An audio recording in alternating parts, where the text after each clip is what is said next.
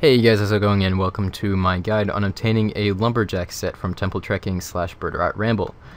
So this is going to be a guide on how to farm out the Undead Lumberjacks event that gives you a chance of getting the lumberjack pieces as fast as possible. It's not a guide on how to do all facets of the Temple Trekking slash Burgh de Rott Ramble minigames.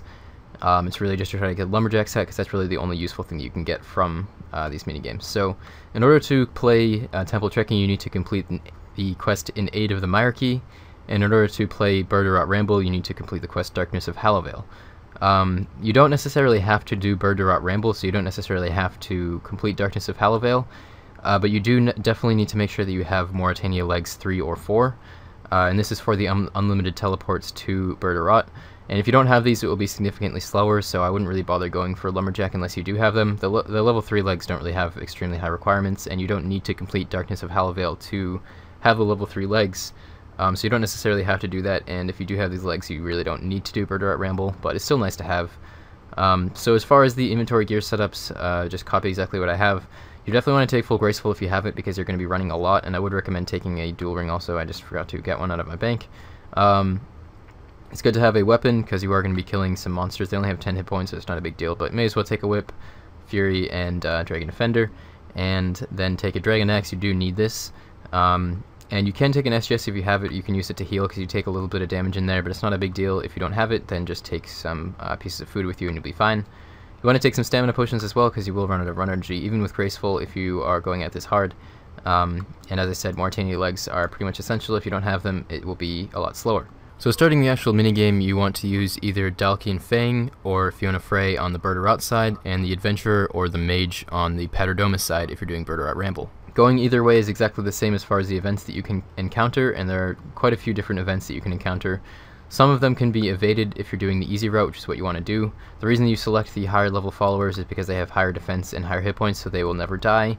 And you, you want to select the easiest route possible um, because you have the same chance of getting one of the London Lumberjack events, and you encounter less uh, higher level events, and you can evade every single, or you can evade most of the events uh, that you encounter. So for any event that you can evade it, just evade it and go on to the next one. If you come across events such as the bog or the tree that you have to make a rope to cross or a couple other ones that you cannot evade, all you want to do is use your Morytania legs to teleport back to Burgh de Rott start another ramble. That's why they are so useful is because otherwise you'll have to do those events or buy uh, Morytania teleport scrolls which are somewhat expensive and are, are further away teleport to the start point of this. Um, so it's really really useful to have the Morytania legs. It makes it a lot faster. So all you're trying to do is get to a specific event, which is the Undead Lumberjacks event, and there are two events that look quite similar. One of them will spawn Undead Lumberjacks, and that's the one without the trees that you can chop, and uh, the, the, Lumberjacks will drop planks that you can use to repair the bridge. Sometimes you'll encounter an event that looks almost exactly the same, but you have to chop the trees instead, and it's kind of a uh, false, exciting type experience.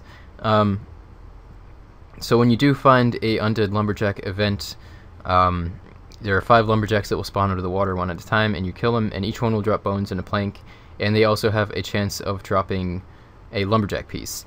So the boots are most common. If you get a pair of lumberjack boots, don't be too excited. Next are the hat and then the legs and the top. The top is extremely rare and will take way longer to get than any of the other pieces. You will get a ton of duplicates of every single other piece, especially boots, before you get a top. Um, on average, it will take around 7 to 10 hours to get a full lumberjack set. It took me only 3. I got fairly lucky. Some people it takes over 20. They're fairly unlucky, so it's all RNG based, uh, what you can expect.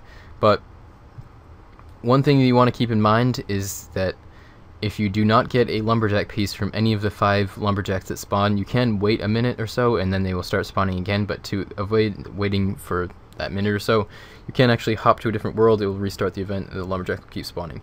You can only get one lumberjack piece per event, so if you've already gotten a piece, you don't even need to bother killing the rest of the lumberjacks, because you can only get one piece per event. Um, but if you don't get a piece after five lumberjacks, you can hop to another world and keep killing them until you get a piece. Another thing to keep in mind is that if you want to get a placeholder set, if you have all four of the lumberjack pieces either in your bank or in your inventory, the lumberjacks will not drop another piece of lumberjack unless you drop it all on the floor. So if you have a full lumberjack set and you drop all of it on the floor when you get a lumberjack event, then they will start dropping more lumberjack pieces, but otherwise they will not drop lumberjack pieces. So it gets a little bit more annoying if you want to try to get a placeholder set, but the only reason you really need to do that is just if you are a little bit OCD about your bank. So this is the basic process. It will take a fair amount of time on average, um, but it is a nice set to have. It is not worth it to get a lumberjack set if you're just going for 99 woodcutting because it only saves you 325k woodcutting XP for the 2.5% bonus that it gives, and that's only around three hours of woodcutting, I guess maybe three and a half. Um, which it really isn't worth it unless you can obviously get the set in less than three and a half hours, which I actually did, but I didn't get it until after I got 99 woodcutting anyways, so didn't really work out that well, but you know, there's lots more XP to gain in woodcutting.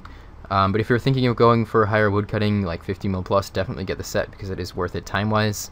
Um, it also looks kind of cool, makes you look like a little bit of a pro woodcutter if you wear around your lumberjack while you're woodcutting. Um, but yeah, just a little thing that you can get. It's also sort of completionist type stuff. That's the reason that I did it. Um, so hopefully this guide helps you guys out. Feel free to drop a like if it did, and any more questions or comments in the comment section below.